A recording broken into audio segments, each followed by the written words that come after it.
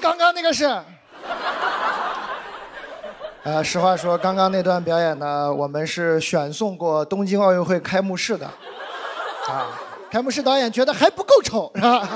没有选上啊，欢迎大家。时光荏苒，岁月如梭，我们这个小节目呢，已经陪大家足足走过一个年头了。欢迎大家来到二零二一脱口秀跨年。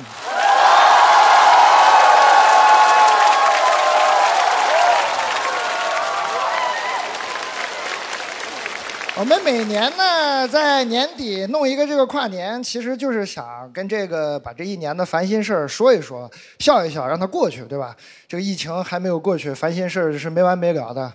有没有没有人最近被行程卡卡住的呀？这个鼻子捅的是不是已经非常通畅了？最近都，啊，就是过去这一年给我一种就是世界在踩油门的感觉，每天都有大事儿。而且他不是一脚踩到底，他是一脚一脚那种闪你，很烦。我已经把微博卸载了，根本不想看啊！随时随地的发现世界上的糟心事儿，很烦很烦，不看了哈。什么意思？你还不够糟心吗？你还笑我你？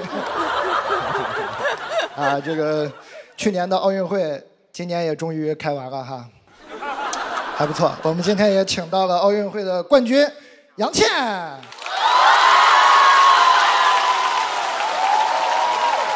还有第六名苏炳添。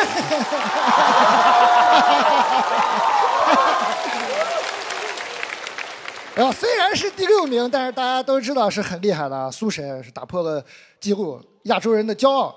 啊，夺得了第六以后呢，马上回国参加全运会。苏神也很费解，什么什么意思？我怎么还要比啊？亚洲人怕我太骄傲是吗？啊，全运会跟他一起跑的那些他的后辈们肯定就更激动了，压力也很大。输了无所谓，万一把苏神给赢了的话，怎么办？哎呀，苏炳添，我我就我那个梦想就是超越你，我怎么二十三岁就实现了呢？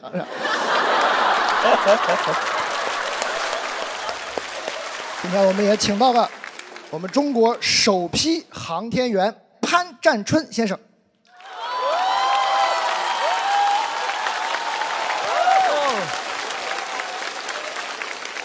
大家也知道，神舟十三还有几位还在天上，是吧？请航天员来跟我们录节目，这个节目预算压力是非常大的。啊，说您是公务舱还是头等舱啊？我们坐返回舱 啊。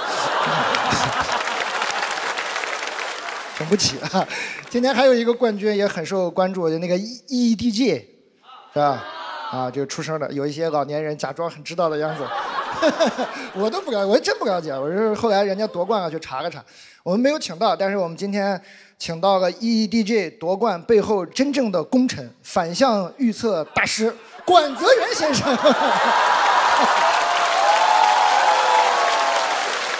大家了解他吧？了解，就是他说谁能赢，谁就会输；他说谁不行，谁就会好，就是这样的。如果他不看好徐志胜。那么徐志胜去参加选美，也是可以击败金晨的，是吧？全靠管泽元啊！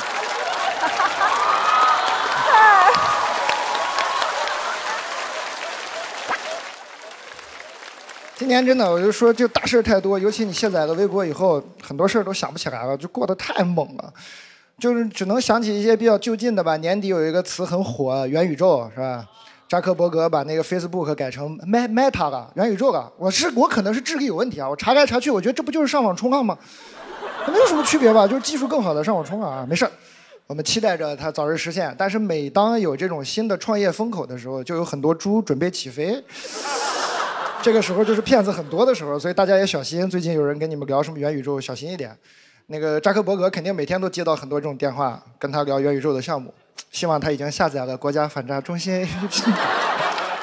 我们今天也有幸请到了国家反诈中心 APP 的推广大使陈警官。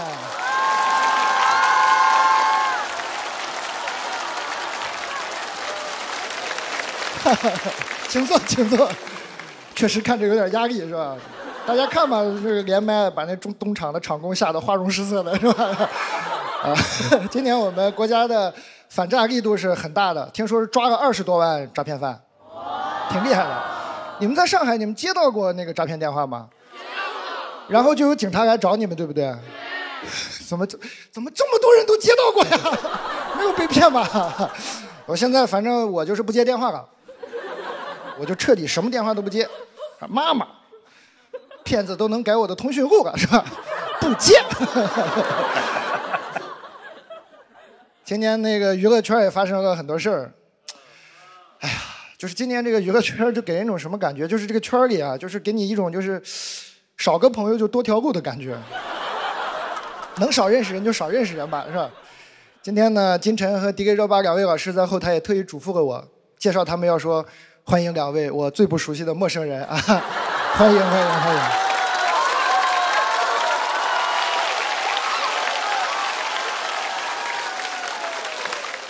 很奇怪，就这个世界呢，猛踩油门，但是年底盘点，你让我想什么大事儿，一件想不起来。就是你让问我这一年什么事儿印象深刻，我不知道你们有没有这种感觉，其实还是身边自己身边的小事儿印象更深刻。杨蒙恩求婚成功，记得的全是这种小事儿。还有是杨丽今年搬了个家，搬到了一个鬼楼里，全上海的人都传说那栋楼不太好，他非要去，怎么劝都劝不住。听说现在睡眠质量特别好，是吧？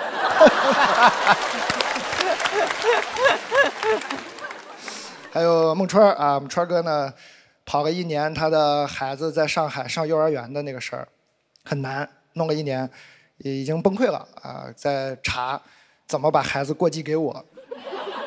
查询结果是建国以后过继犯法，但是川哥呢，作为我们的备用总编剧，对吧？他还思路还是非常的发散的，跟他老婆商量说，你可以带着孩子嫁给李大呀。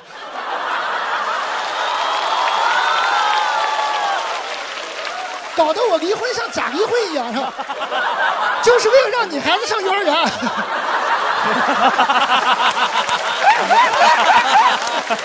怎么可能呢？假离婚也是违法的，过分啊！没有，这个破疫情呢，我估计还得持续个一段时间吧，很烦。就是在这种疫情下，在这种世界猛踩油门的情况下，怎么过日子呢？我的经验是，就是多跟朋友在一起。啊，用身边的小事儿来对抗这个世界上的大事儿。呃，密接这个词儿已经听了两年了，密切接触，咱们物理上肯定是减少密接，但我感觉情感上要加强密接，疯狂的密接，才能扛住这个疫情。你比如说我右手边这些朋友，今天这个舞台上呢，跟他们是一点关系都没有。